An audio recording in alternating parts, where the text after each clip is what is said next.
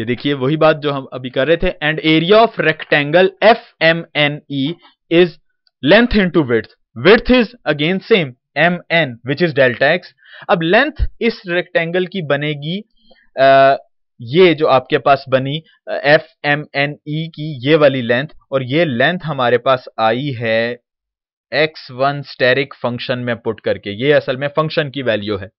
Now we can see that area of rectangle FMNE is approximately equal to the area of the required region AMNB under the graph of f from x0 to x1. जी ये वही बात जो अभी हम explain uh, करके आए हैं कि आपके पास FMNE का एरिया तकरीबन तकरीबन बराबर है AMNB रिक्वायर्ड एरिया के जो हम मकसद हमारा यह था कि कर्व के अंडर एरिया मालूम करें तो ये कर्व के अंडर एरिया हम फाइंड करने जा रहे हैं और यूजिंग दीज रेक्टेंगल्स पहले हमने एक बड़ी रेक्टेंगल कंस्ट्रक्ट की, फिर मिड पॉइंट लिया और उससे रेक्टेंगल कंस्ट्रक्ट की तो हमारे पास ये चीज़ नज़र आई कि इस तरह एरिया आपके पास तकरीबन बराबर आ जाता है उस रिक्वायर्ड रीजन के।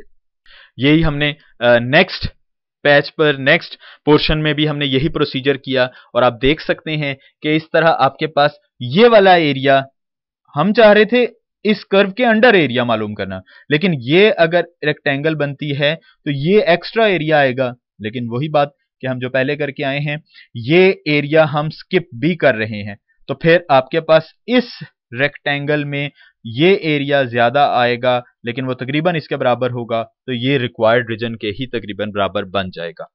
And the same with next portion इसमें भी हम यही कि रेक्टेंगल अगर ये बना लें, इस ये इसको ज्वाइन करें। एक्स थ्री के अगेंस्ट आपके पास ये लेंथ मिल जाएगी।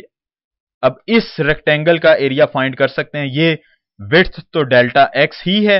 Length will become f of x three ये लेंथ बन जाएगी f x three asterisk mid point के ज़रिए हम ये लेंथ निकाल लेंगे। विथ हमारे पास है। हमारे पास इस रेक्टेंगल का एरिया आ जाएगा।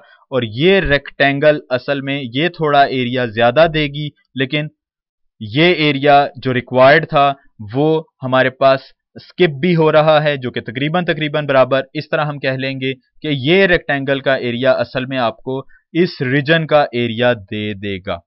और same with the next portion कि हम फिर अगेन एक रेक्टेंगल कंस्ट्रक्ट करेंगे। Now we calculate the sum of areas of the rectangles shown in the figure हम अब ये तमाम रेक्टेंगल्स ये जो हमने मिड पॉइंट्स के ज़रिए बनाई हैं, चारों रेक्टेंगल्स इनका एरिया फाइंड करते हैं। So uh, first rectangle f of x1 steric delta x. जी ये लेंथ x1 steric के against f of x1 steric और विड्थ इज़ डेल्टा x. अगली रेक्टेंगल जो हमारे पास है उसमें x2 steric के अगेंस्ट फ़ंक्शन ये आपको f of x2 steric is length and delta x is width and similarly third rectangle and fourth rectangle ये आपके पास अगर हम इन चारों का एरिया फाइंड कर लें तो आपके पास पहले ये वाली रेक्टेंगल प्लस ये नेक्स्ट रेक्टेंगल प्लस ये नेक्स्ट रेक्टेंगल और ये फोर रेक्टेंगल ये चारों रेक्टेंगल्स का अलग अलग एरिया सम अप करें तो आपके पास अप्रोक्सीमेटली रिक्वायर्ड रीजन का एरिया आ जाएगा. अब हम ये मैनुअली एरियाज़ फाइंड करते हैं. Delta x was common term asterisk x two asterisk f x three asterisk and f x four asterisk ये वैल्यूज़ कैसे आ गई आपके पास? एफ़ एक्स वन हम जानते हैं एफ़ ऑफ़ एक्स हमने रखा हुआ था one by two x square जी, अब अगर हम ये फाइंड करें एफ़ एक्स वन स्टेरिक तो ये आप जानते हैं हम सिर्फ़ एक्स वन स्टेरिक से रिप्लेस कर देंगे तो ये आ जाएगा एक्स वन स्टेरिक स्केयर और ये भी आपको पता है कि एक्स वन हमने मिड पॉइंट रखा था एक्स नॉड और एक्स वन का। और mid point formula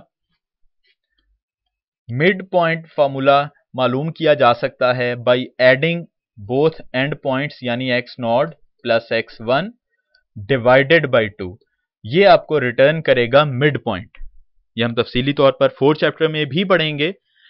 तो आपके पास एक्स वन स्टेरिक की वैल्यू बन जाएगी x nought plus x one over two whole square और f of x one asterisk यही जो हमने फाइंड कर लिया।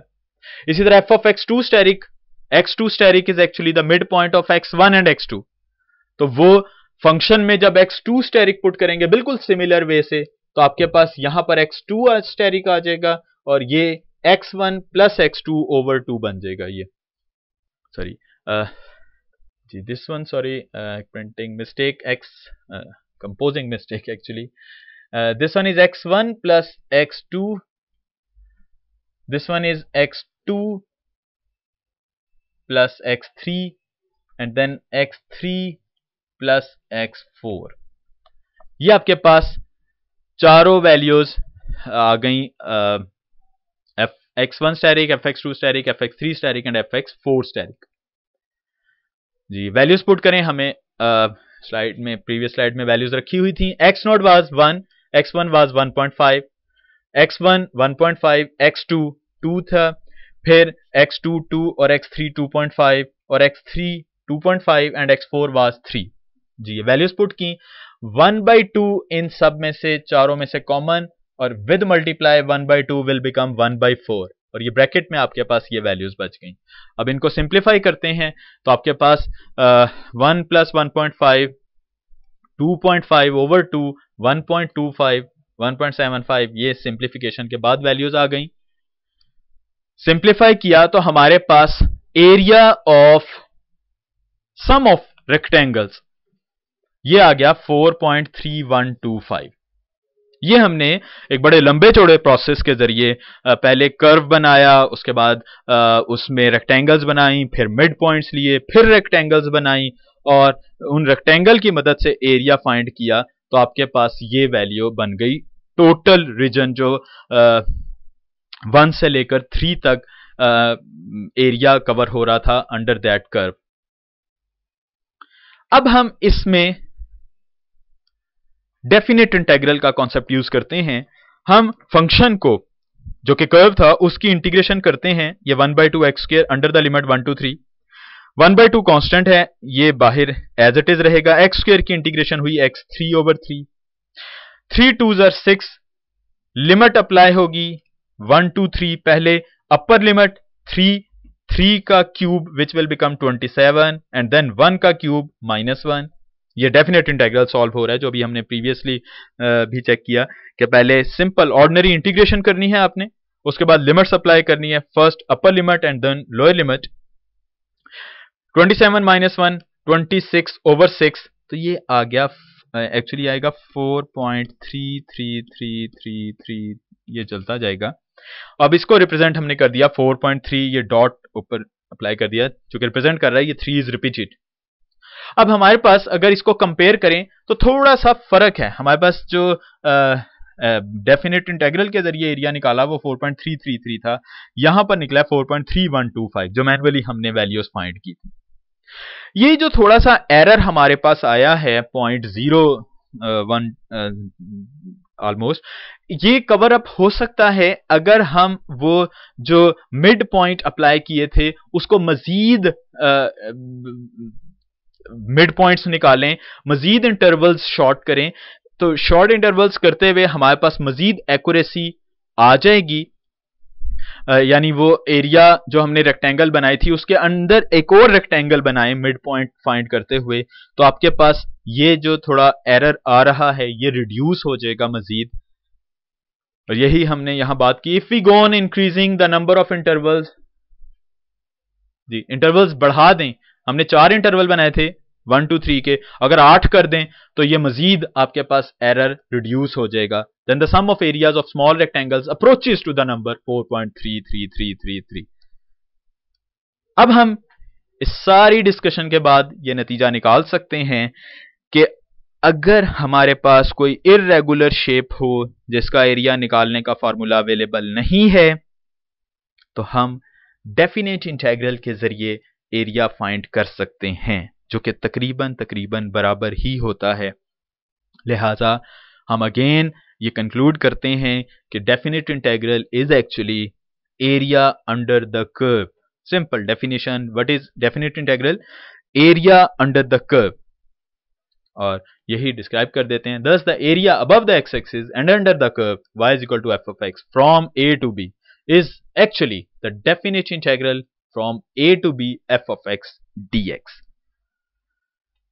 So so, इस आर्टिकल को आप दोबारा ज़रा तवज्जो से इसको दोबारा देखिए खुद से कंस्ट्रक्ट कीजिए। ये सारा पेपर वर्क अब थोड़ा सा आप मज़ीद करें। तो इसको आप मज़ीद क्लियर होगा और हम जो है फाइनली इस नतीजे पर पहुँचे कि आपके पास definite integral represents area under the curve above the x axis और ये कैलकुलेशन कैसे होगी?